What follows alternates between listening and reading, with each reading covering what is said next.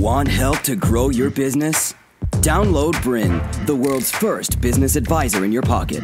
To find out more, visit brin.ai or search the App Store today.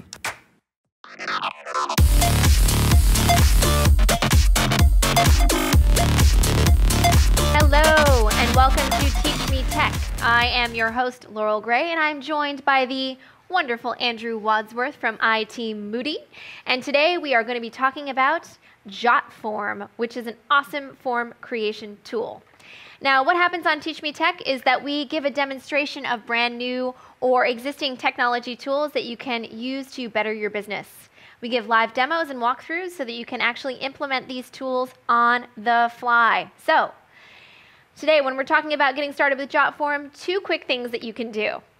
First thing, please follow along. Hopefully, you've got a more updated computer than that guy, and you're following along uh, on your laptop or on a mobile device, maybe, and you'll be able to actually set up your account on the spot, so make sure you've got everything together with you. Secondly, please ask and share either on Instagram, Facebook, Twitter, or Google Plus using the hashtag TeachMeTech, and we'll be able to join in on the conversation right along with you. Awesome. So, what are we going to cover today? First off, what is JotForm and why you should consider using it in your business specifically? The different ways you can use JotForm to collect data, how to get started and set up your free account, creating your first form, very important, understanding what form fields are, gaining proficiency with form logic, which sounds complicated. Thank goodness we have Andrew here with us to help us making the most out of the templates feature, making your form beautiful with themes, and finally, additional features and integrations. You know we love talking about our integrations here. All right, so let's get started. Okay. So I've got Andrew Wadsworth here with me, and in my mind, and probably I've said it on social media and out loud to many people on the bus a few times, Andrew is basically an integrations expert. So Whereas I kind of think about things maybe at a low application level for my business. Andrew is kind of up here when it comes to integrations. Mm, and yeah. your business is called IT Mooti. IT Mooti, yeah. What's so give me the IT. Mooti, we started um, a business, basically business process consulting business around helping businesses get more out of the cloud technology that exists these days. So when I first started my business, the first thing I did actually the first opportunity that I saw was actually collecting data through forms in my business, you know, collecting lead data and things like that, and having that go somewhere filed away so I didn't have to manually do it. So it's quite pertinent to, you know, my first um, small business that I started, this whole form piece that we're going to talk about today. And IT Mooti was started with me and Jason Paises, and IT Mooti means IT medicine. Muti is uh, at Zulu, in Zulu, it's medicine, and um, because Jason is from South Africa, he had, um, he was told a lot as a kid, you always need to have your muti. Oh, well, there we go. Now we understand the meaning behind the name, and what a perfect first uh, episode for you to do on JotForm. Excellent. Okay, yeah, that's it. So let's get started. All right, so look, I have to admit, I have been using forms for a long time in my business, and I have been a Wufoo girl for years. Mm-hmm. So I know JotForm, Wufoo, we hear of Gravity Forms. There are so many different options on the market. Why would we consider using JotForm in our businesses? Well, the short answer is use what's right for you. Um, mm. Wufoo is a great product but JotForm is good because they've just released some great upgrades to their templates and themes. So making a form is easier than it ever has been before. So I would say at the moment, JotForm is the easiest form builder out there. Mm, excellent. So we know we're always looking for the easiest and uh, the most effective tool that we can implement in our business. Yeah. So mm. thinking about forms, a web form is a place where a visitor to your website can go to and fill in data through fields like email or name, and then that gets submitted somewhere, either to you, to your email, or to the server for you to get later or download.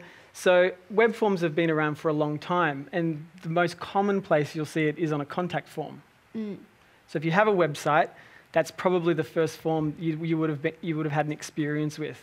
Um, so so there's um, so the, what JotForm has done is made it so that anybody can create forms with any fields or different types of fields, drop downs and multiple choice and tick boxes and file uploads in a drag and drop fashion. So you don't need to know how to code HTML or make it beautiful with CSS.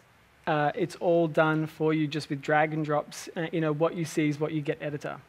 Awesome. Okay, so it sounds really easy to use and easy to set up. Mm-hmm. Um, now, what if it's a business uh, that's just starting off and maybe they only have got a contact form on their website at the moment? Yeah. I guess why would that type of business or somebody just starting out, why should they consider getting on Jotform? Well, we can look at all the various parts of a business and then how forms can be used in those parts of the business. So, if you're just starting out and it's only you, soon you're going to be needing to hire people. So, a way of accepting job applications on your website would be to have an application form where people can upload their CV and it's always good to be looking for new talent in your business anyway. So, having an application procedure or a way to accept applications on your website is a good one to start with as well. Mm, okay. You can so, also have order forms, you know, mm. sell, selling things on your website. Something, you know, your product or your service can be sold from your website using a form.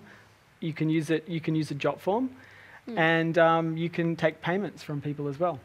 Perfect. Well, awesome. We're already getting into sort of the second section, which is the different ways that you can use Jotform to collect data yes. Uh, in your business. You mentioned a couple of amazing options.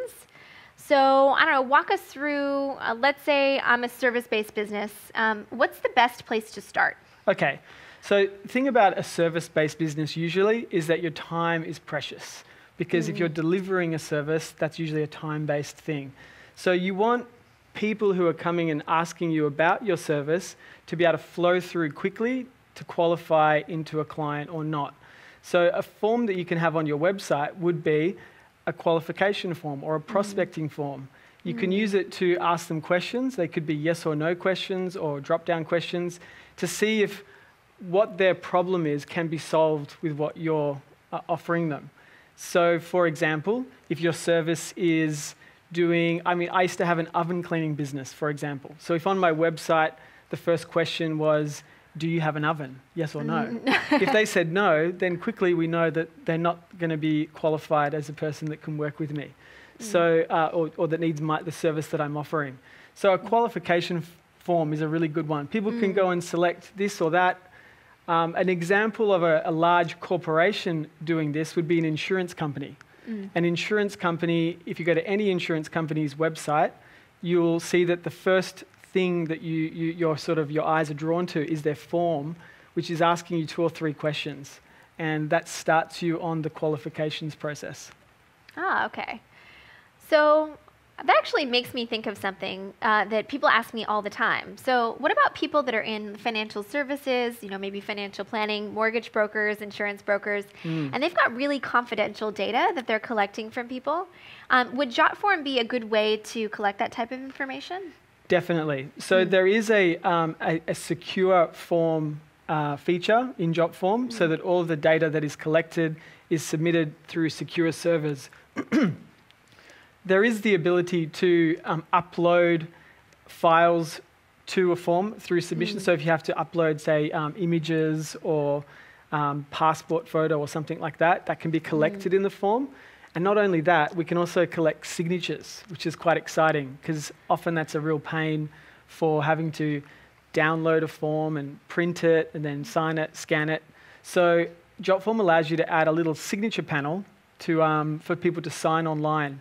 So, a service based business who goes to a house, completes the service, mm. then asks the client to say the job's been complete, you could just simply give them your iPad or iPhone mm. or some other device to sign on the form, and it could be a jot form that they're filling in, and then you're capturing their signature on the fly.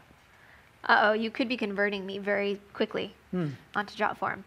Um, I'm just thinking about some other things, like, for example, event signups um, like, let's say I had an event that I wanted people to register for, whether it's a webinar or an actual in person event, for example. And if someone signs up, are they actually able to create a booking through Jotform as well? Yes. Yeah, well, it depends on what your. There's, there's great services out there for events. Mm. There are some event based services like Eventbrite. Um, Jotform would be a simpler way to do it. So you, you can limit the amount of submissions through a form.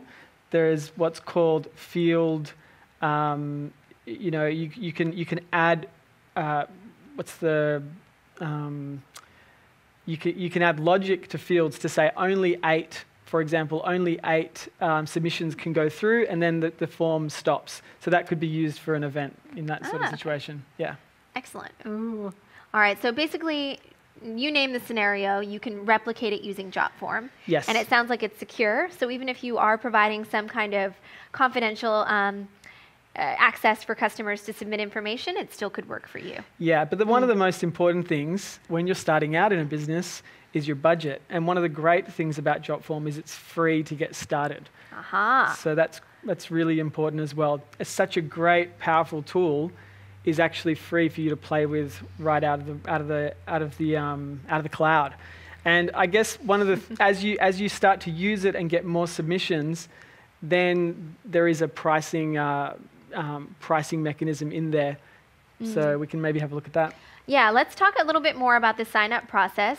Hmm. And really, I want to say, oh gosh, I'm starting to sound like Pete Quist here. I don't know, this maybe is not a good thing. Um, but we always want to recommend tools where you can start off for free and then scale up because you never know if you're going to actually like the interface, the look and feel, hmm. or the way that that tool integrates with your other, uh, your other offerings in your organization. So, yeah, let's walk through walk us through the sign up process and how people can actually get their free account. Okay, mm. should we go and check it out now then? Yeah, let's hop onto the laptop. Okay, so the, the screen that I have in front of me on the laptop is JotForm's sign up form. So right up on here it says signing up is free and only takes 10 seconds. That's a pretty good start. Okay, and you're at jotform.com forward. To continue enjoying this presentation, download BRiN, the world's first business advisor in your pocket. To find out more, visit brin.ai or search the App Store today.